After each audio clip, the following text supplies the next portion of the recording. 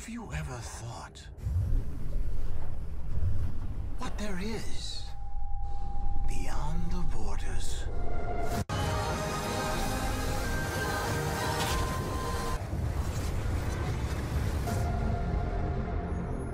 Film की शुरुआत मासूम एबिगेल से होती है, जो अपने पिता के साथ घूमते घूमते एक घने जंगल में गुम हो जाती है, पर लकीली उसके पिता उसे खोज निकालते हैं और फिर उसे सिखाते हैं कि कैसे मुश्किल के समय में तारों के मदद से रास्ता ढूंढा जा सकता है। और उनके घर लौटने पर head of department of security Garrett एक सरप्राइज़ दस्तक देते हैं और अजीब अजीब बातें करते हैं कि उनके पास ऑर्डर है उनकी पूरी टीम के लिए। यहाँ हमें पता चलता है कि जोनाथन एक साइंटिस्ट है, जो अपने टीम के साथ लैब चलाते हैं। वो गैरेट से विनती करते हैं, पर वो सिर्फ़ उन्हें कुछ घंटों का मोहल्ला देता है, जिसके तुरंत बाद जोनाथन कुछ कॉन्फिडेंशियल फाइल्स और कोई तो डिवाइस हिडन लॉकर में छिपाने लगते हैं, जो एबिगेल चुपके से उन्हें देख लेती है। उसके तुरंत बाद वो एबिगेल को कोई एम्बुलेट देते हैं और उसे इसे हमेशा पहने रखने के लिए कहते हैं। और इसके तुरंत बाद गैरेट जोनाथन और उसके साथी को इन्फेक्टेड होने के शक पर इंस्पेक्टर्स अपने साथ ज़बरदस्ती ले जाते हैं और इस तरह एबिगेल के पिता को उसकी ज़िंदगी से छीन लिया जाता है। अब मूवी कई साल आगे मुड़ जाती है। जहाँ अनजान एबिगल सोते वक्त हवा में तैर रही होती है, पर उसके झटके में उठते ही पलंग पर गिरने पर उसे कुछ खबर नहीं कि उसके साथ कुछ देर पहले क्या घटा। और वो अपने पिता का वही एमुलेट पहनकर अपने रूटीन काम पर निकल पड़ती है। यहाँ से हमें पता चलता है कि एबिगल जिस छोटे शहर में रहती है, वहाँ बायोलॉजिकल युद्ध के कारण सभी तरफ़ महामारी छाई है। इसीलिए इससे बचने के लिए शहर को बाहर की दुनिया से सील कर दिया गया है। और जो भी इन्फेक्टेड पाया जाता है, उन्हें अथॉरिटी वाले क्वारंटीन के नाम पर अपने पास कैद कर लेते हैं, जिसमें एबिगेल के डैड और उनकी टीम को भी इसी कारण से ले गए थे। और ये पूरा operation head of department Garrett handle करता है। ये बीमारी इतनी खतरनाक है कि इसकी कोई सिम्टम्स भी नहीं है। इसे डिटेक्ट करने के लिए ऑफिशियल्स एक स्पेशलाइज डिवाइस का उपयोग करते हैं। लोग घरों से बाहर निकलने से भी कतराते हैं। खास करके कहीं अथॉरिटी उनके भी किसी परिवार के सदस्य को उनसे दूर ना ले जाए। वहीं एबिगेल आज भी अपने डैड को मिस करती है। पर उसे कोई खबर नहीं कि उन्हें कहाँ ले गए। पर उसी रात दोस्तों के साथ मस्ती के दौरान वो इंस्पेक्टर के हाथों धर ली जाती है इंस्पेक्ट करने के लिए। पर झड़प में उसका मास्क उतरने पर उसे पता चलता है कि ये उसके पिता के वही साथी रॉय हैं, जिसे इंस्पेक्टर्स ने उस दौरान इन्फेक्टेड होने के बेसिस पर ले गए थे। पर वो पकड़े जाने के डर से भाग निकलती है। पर अगले दिन वही इंस्पेक्टर फिर से उसके पीछे पड़ जाता है, जिससे बचने के लिए उसकी मॉम को उसे घायल करना पड़ता है। पर रॉय को ज़िंदा देखने के बाद एबिगेल में अब एक किरण की उम्मीद जाग उठती है कि अगर रॉय ज़िंदा हो सकते हैं तो उसके पिता भी ज़िंदा होंगे। वहीं उसे अब इंस्पेक्टर्स पर शक भी होने लगता है कि आखिर वो अपना चेहरा क्यों छिपाए घूमते हैं। इसका मतलब यही है कि वो नहीं चाहते कि जो भी उस मास्क के पीछे है, वो उनके ही लोगों में से एक है जिन्हें इन्फेक्शन के नाम पर ले गए थे।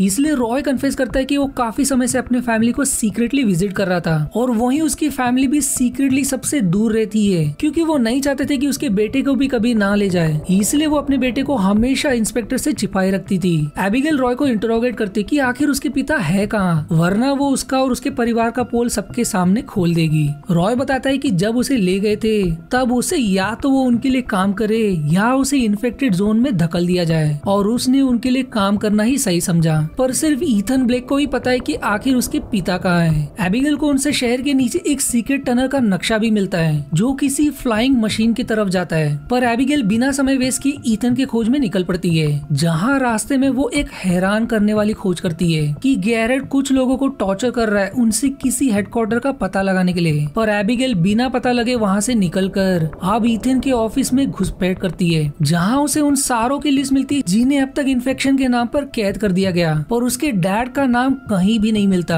वहीं तब तक ईथेन आ जाता है, पर उसे फॉलो करने के लिए एबिगेल उसके गाड़ी के ट्रंक में छिप जाती है। पर रास्ते में कोई हुडमैन उन्हें घेर लेता है और अपनी किसी मैजिकल डिवाइस की मदद से उसकी कार को फ्रीज कर देता है। अंत में वो उसे उसी डिवाइस के डर पर डिपार्टमेंट ऑफ़ सिक्योरिटी के जोन में ले चलने पर मजबूर कर देता है। उनके कार से एग्जिट करते ही एबिगेल भी मौका देकर बिल्डिंग में एंटर कर जाती है, जहाँ वो उसी सीक्रेट टनल के रास्ते एक खुफिया दरवाजे तक पहुँचती है, जहाँ से इन्फेक्टेड लोगों को ले जाया जाता है। पर जब तक वो आगे कुछ करने का भी सोचे, अचानक में ही सायरन बजने लगता है, क्योंकि बाहर दो ग्रुप में युद्ध छिड़ गई होती है, और वो युद्ध भी कोई गोलियाँ या वेपन से नहीं, बल्कि मैजिक से भरी होती है, जिसमें से एक अटैक एबिगेल को भी लग जाती है। जिससे वो वहीं बेहोश हो जाती है और उसका वो एमुलेट वहीं गिर जाता है। पर वही वुडमैन किसी कारण से उसे अपने साथ ले चलता है और अब एबिगेल को अपने सपने में पिता के कहे कुछ बातें याद आने लगती है कि धरती पर साधारण इंसान के अलावा कभी गिफ्टेड लोग भी रहते थे कॉल्ड स्ट्रेंजर्स जिनकी आँखें रंग बिरंगी और जगमगाया करती थी और उनके पास अद्भुत जादू करने की शक्ति भी थी। पर एक राजा जो खुद भी स्ट्रेंजर था, वो ये गिफ्ट सिर्फ़ अपने पास चाहता था। इसलिए उसने सभी स्ट्रेंजर्स को राज्य से हकाल दिया।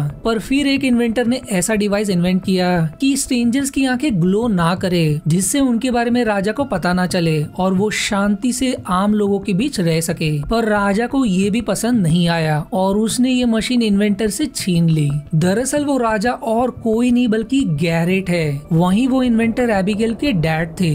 इसीलिए बीमारी के बहाने गैरेट ने एक एक करके स्ट्रेंजर्स का पता लगा के उन्हें कहीं कैद कर दिया। एबिगेल को होश आने पर वो पहली बार स्ट्रेंजर्स के अद्भुत मैजिक का अनुभव करती है। उसे अब समझ आता कि आखिर स्ट्रेंजर्स कैसे अथॉरिटी से छिपे हुए हैं, क्योंकि ये इलाका सिटी का सबसे स्लम होने के कारण इंस्पेक्टर्स यहाँ ज़्यादा करके नहीं आते, और इन केस उन्होंने यहाँ धाबा भी बोला तो वो तुरंत अपना भेस बदल कर छिप जाते हैं। एबिगेल की मुलाकात स्पेंसर से भी होती है, जो न्यू रिक्रूट्स को मैजिक सिखाते हैं। जिनसे उसे पता चलता है कि वो खुद भी एक स्ट्रेंजर है। इनफैक्ट वो स्पेशल स्पेशल है जिसमें अद्भुत शक्ति छिपी है, जिसमें बाकी स्ट्रेंजर से भी ज़्यादा और भी अद्भुत शक्ति छिपी है, जो हर सौ में से एक स्ट्रेंजर में पाई जाती है, जिसका वो आँखों देखी अनुभव करती है, जब वो गलती से एक मैजिकल डिवाइस ट्रिगर करती है।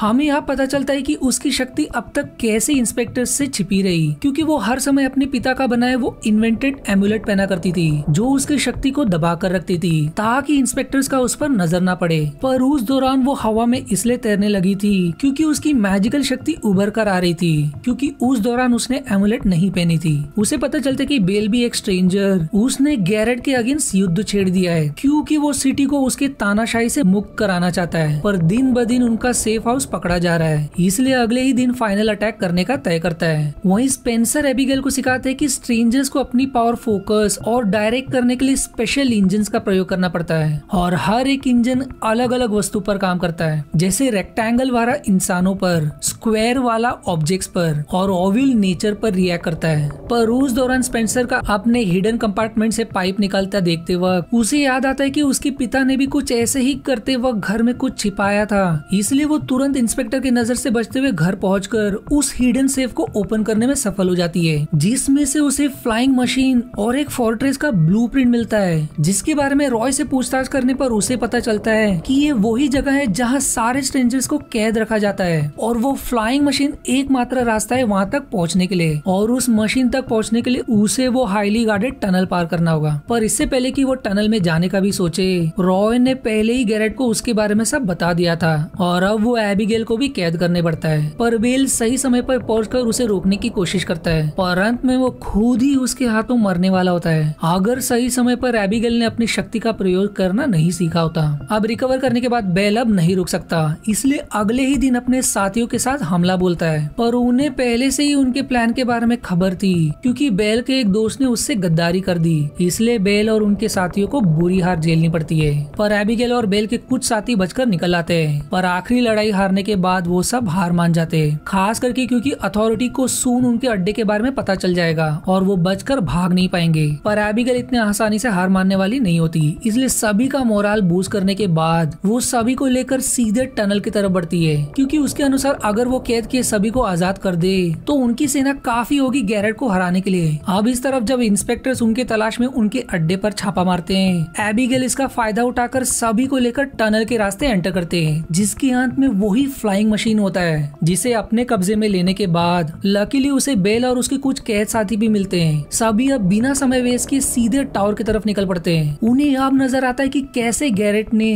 पूरे शहर को अदृश्य मैजिक शील्ड में कैद कर रखा था। उन्हें पहली बार अलग ही दुनिया का अनुभव होता है और वो जहाज़ अपने आप उसी टावर पर स्टेशन हो जाता है। टावर को अपने कब्जे में लेते ही एबिगल को उसके डैड कहीं नहीं मिलते। इनफैक्ट उन्हें पता चलता है कि वो टावर एक विशाल इंजन है जिसे डिज़ाइन किया गया है स्ट्रेंजर से उनसे शक्ति निचोड़ने के लिए, जो साधारण से हथियार से नष्ट नहीं होता। ऊपर से गैरेट के लोग जल्द ही धाबा बोलने वाले हैं। कुछ और अंदर खोज करने पर एबिगल को उसके पिता का कई वॉचेस भी मिलता है, जिन पर नज़र घुमाने पर वो खुद को अचानक से अपने बचपन के समय के मेमोरी की दुनिया में पाती है, जो उसके पिता ने मैजिक से वहाँ छोड़ रखी थी कि कैसे उसे इस मशीन को नष्ट करना है, क्योंकि उन्हें हमेशा से भरोसा था कि वो उन्हें ढूंढते यहाँ तक पहुंचेगी। इसीलिए उन्होंने जानबूझकर यहाँ तक पहुँचने का रास्ता उस हिडन सेफ़ में छिपा रखा था। उस दौरान उनके पास और कोई चारा नहीं था, बल्कि गैरेट के साथ जाने के लिए, वरना वो उनके परिवार की जान ले लेते। अब अपने पिता के हिंट्स को समझने पर, वो तुरंत सन बीम को मिरर पर, फिर उसे उसी अग्नि और फिर उसे इंजन पर फोकस करती है। पर तब तक गैरेट और उसके साथियों ने हमला बोल दिया होता है, और वो लोग बुरी तरह से हारने वाले होते हैं। पर एबिगेल सही समय पर आपने गिफ्टेड शक्ति को फोकस करके उस इंजन को नष्ट कर देती है, जिससे निकला